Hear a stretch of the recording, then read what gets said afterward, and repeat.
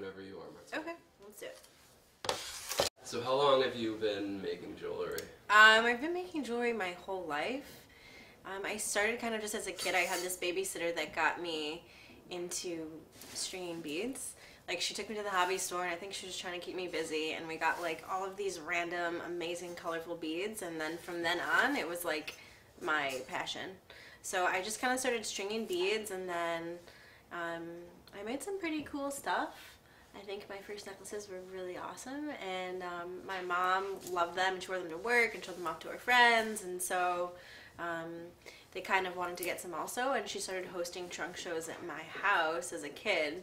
Um, so we would have like wine and hors d'oeuvres and she would invite her friends over.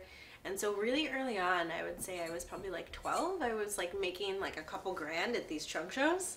So we just kept doing those and that was always my like after school job. I think I had one other job at a pottery studio, um, like polishing and glazing pottery, making like four dollars an hour. So that was like a short-lived job. I realized that I was much better off just like making necklaces and selling them.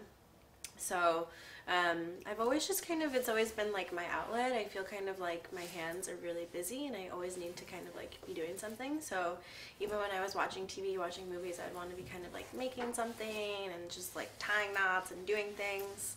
Um, and like I said, it really just kind of became a source of income for me as a kid. So I realized that it wasn't just a hobby, that it kind of was a hobby with legs.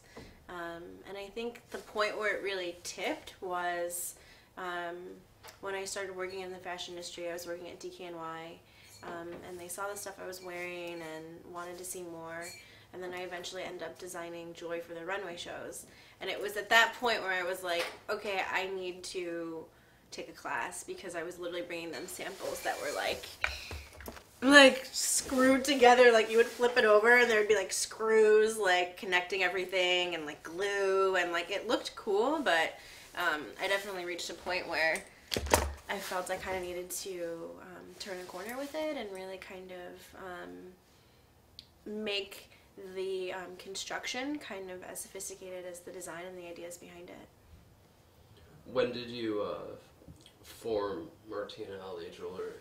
Um, like I said, I've I've had the company from like, you know, from when I was a kid, but officially I would say 2012, um, because that's really when I left my corporate job and decided that I wanted to focus on um, my jewelry business full time. So I'd say 2012 was like the official paper forming of the business. How does it feel to be uh, doing something that you love for work?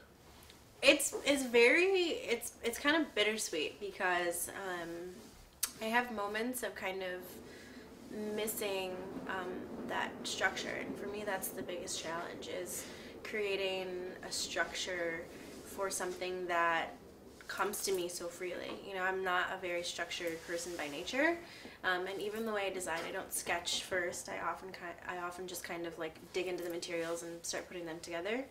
Um, so kind of like putting that like free spirited approach into a structured business is is kind of the biggest challenge for me. Um, so I think doing it full time feels like the right thing to do, and I feel like I don't have any other option. But it definitely creates like a different um, framework that really does kind of put I don't want to say pressure around it, but it definitely kind of like brings something you love into a much more um, serious kind of like expectation based um, daily grind, you know? Totally. Um, what would you say your greatest influences are? I definitely say my greatest influences are um, just various forms of visual art. I'm actually trained um, in studio art, so um, you know, just like just the way that like different colors interact in a painting, um, just the way like different textures um, kind of sit next to each other in a sculpture. Um, even kind of like the sequence and timing of films really kind of influence like my own perception of like pattern and repetition. So for me, really kind of like um, drawing from those influences and applying them to a different medium.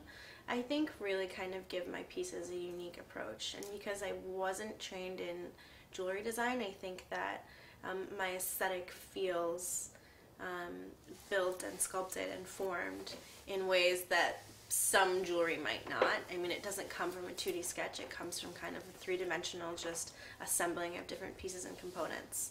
So I definitely think that kind of really just looking at different art forms is the most stimulating for me. Um, what? What do you like as far as materials? What do you like working with the most? Um, right now I'm working mostly with metals, but I do love working with stones and a lot of just like naturally formed elements.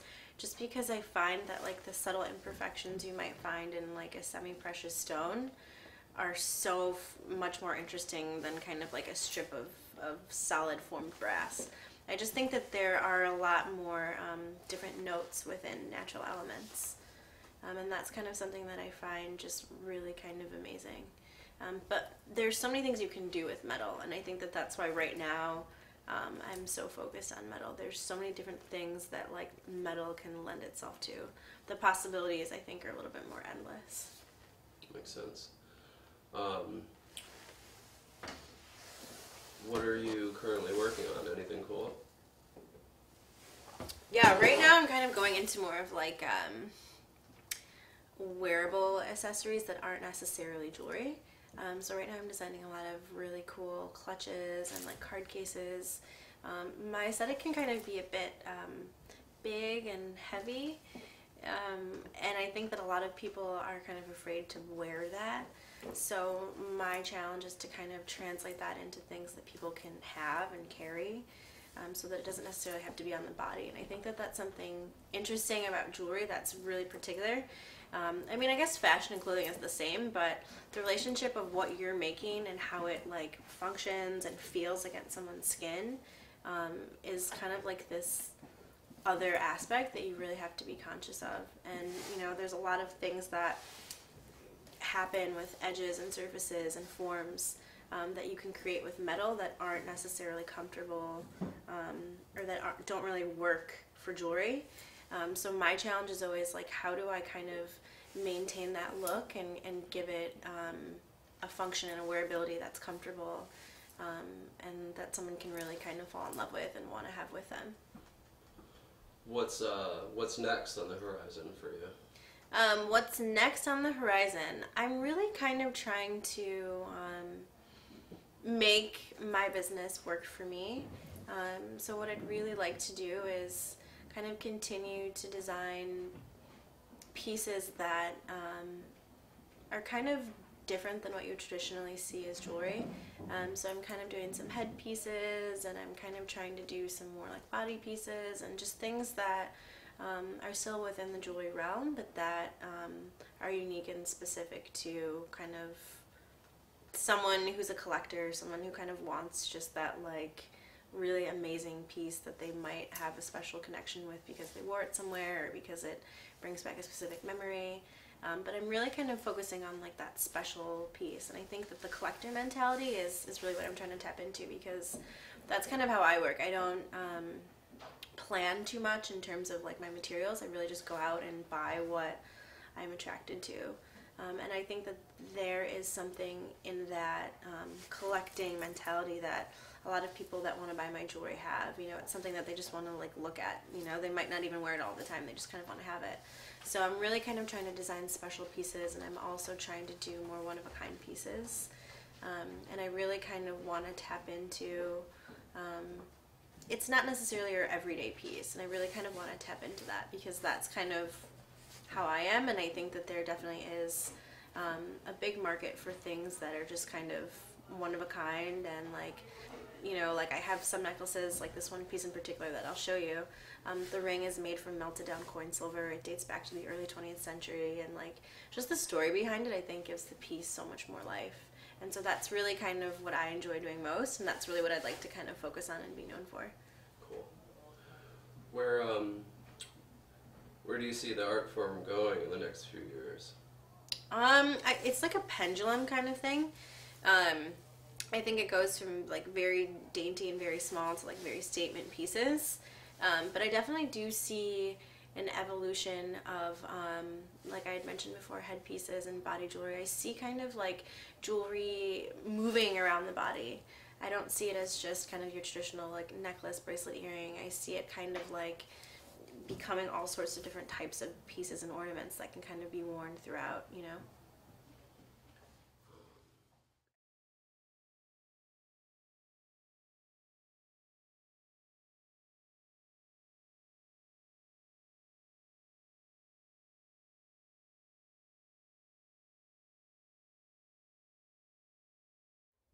What goes into your creation process? Like when you guys are making this music, like what what goes on and how do you do it? I know that's a ridiculous question, No, but just no, we got it. All well, it'll it'll start with usually with some sort of inspiration, and that could be any number of things. It could be something musical, like you know maybe a keyboard part that one of us played, or some drums that one of us made, or it could be a cool sound that we recorded walking through the park the other day. Um, it could even just be you know we're feeling the moment and something's inspiring us. So it starts with some sort of inspiration like that.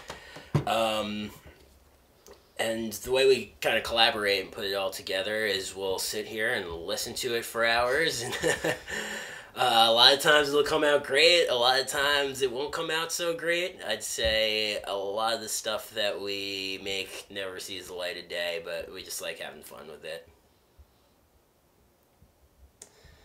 Yeah, I'd say maybe even fifteen percent of the actual process Actually turns into it. something resembling a finished product. know Um, but yeah, like he said, inspiration comes from all over. I could read something, he could look at something. Sometimes inspiration sails are filled simply with the winds of our own farts. Um, it could come from all over.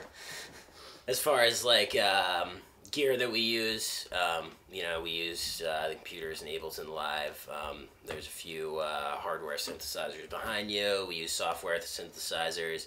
Lately, we've been getting into um, like a lot of lo-fi techniques, like um, you know, cassette tape. Um, you know, recording on iPhones, recording on the microphone right out of the computer, combinations of those. You know, record a sample you got on your iPhone into the cassette tape, run it in through the microphone on the computer. You know, take a room recording. We um, we it took us a while, but we found out that we're not good at making music sound good. So we're kind of going with this thing now where we make it sound like shit, and we're pretty happy with the way it's coming out. Very, yeah, yeah. Start with as good as we can get it, and then make it worse from there. Yeah.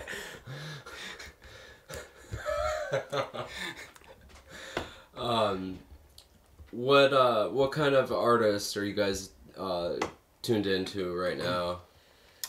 Um, a decent bit of shit. Um, there's a label out of Seattle that uh, recently turned on to called Hush Hush. Um, a lot of really, really good artists on there. Um, definitely listen to a bunch of that. Yeah, um, Sim- Symbols Recording. That's another record label I've been digging on a lot lately. lately. Um, you know, it's always changing what we're listening to. Um, Flying Lotus has a new album coming out. Of course, we're psyched about that. Um, our boy Float, we recorded at his place. Um, he's always got shit that I love. Gotta throw a shout out. Check out Float. Um, still, though, among that, as much new shit that comes out, I feel like I spend a lot of my time listening to the same fucking albums that I've been listening to for years and years over and over, three times a day. And what's All that? all the good Boards of Canada shit, and you know, Old Burial and Bonobo and things like that. I have never been able to steer too far away from Oh, the day to day experience. Yeah, there's a lot of good music right here in Philly too. Um, a lot. That, of, mu- a lot that was music. actually what I was gonna ask next. Yeah. Um, as far as like local acts, then maybe not everybody um, in Brooklyn or wherever have Yeah. uh, found. Like, who would you say locally would be uh, somebody that someone should check out? I think Brooklyn would like Damn Right a lot, um, although they might be picking up some steam there already. Uh, the drummer, Tommy Breda, lives up there. Um, let's see. Local artists I've been digging lately.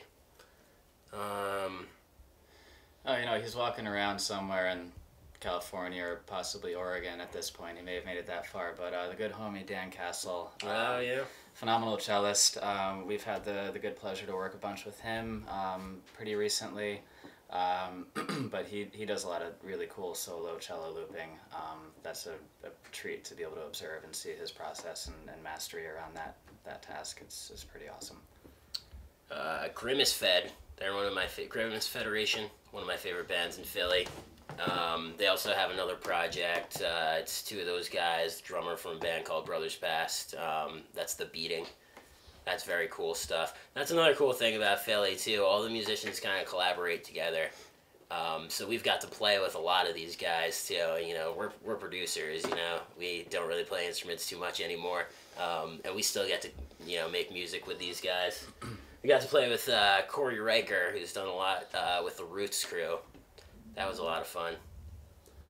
So, Beam and Deem started when?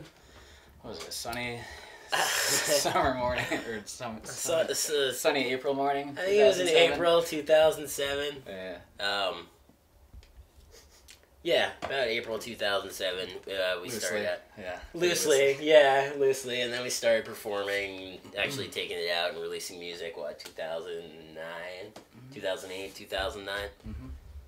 Somewhere around there. How many releases have you guys come out with? Uh, Like EPs and albums? I guess Let's EPs. There are th- what, three of them. Let's see. Um, the first one we released was Circuitous Fruit to Nowhere in Particular, which is terrible. Yeah. Um, and after that There was one dude in Florida that always bumped the one track from it, but Right, yeah. Some people liked it. Um, that's for sure. We definitely got some props on it, but we listened to it again recently, and it's terrible. it's. Um, uh, then we had those two mixes, right? Was that the next thing we came out with? Uh, no, the Dirty Apple Party Oh, was yeah. somewhere in there. Yeah, yeah. The Yeah, Dirty so- Apple Party mix was uh, probably what 2009 ish. 2009, maybe, yeah. So that was like uh, 30 minutes of, you know, all original material in a mixed format, which we like that format. Yeah, We've yeah. done a few of those, actually. hmm So then, yeah, I think the next release was... A couple more of those in fall 2010. Yeah, so we did two of those, um, circle Square and both for colors. Those are those still hold up. Uh, then Sound we better backwards. um, then we then we put out an album called uh, Eat Sided, and then uh, our latest release was in January. It's called Just Another Day. That's when we really started getting into those lo-fi techniques I was talking about. It was, you know, putting the music over, together over like the fall and the winter, and just locked up here and making really weird noises, and kind of just came into this album. Then uh, we put out a mix in the spring that featured some songs from the album and some unreleased materials, a couple choice cuts, um, then a few tracks here and there.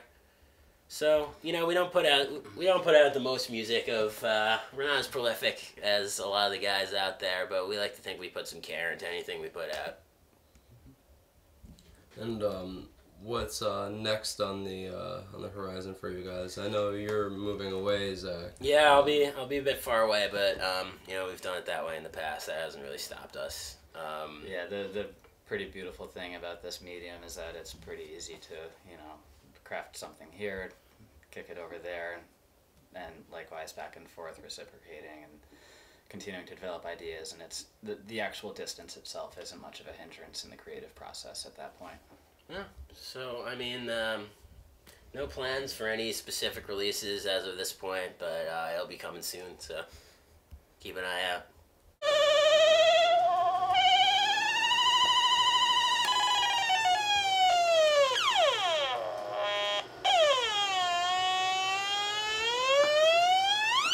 So our whole next release is going to be built entirely. Just that.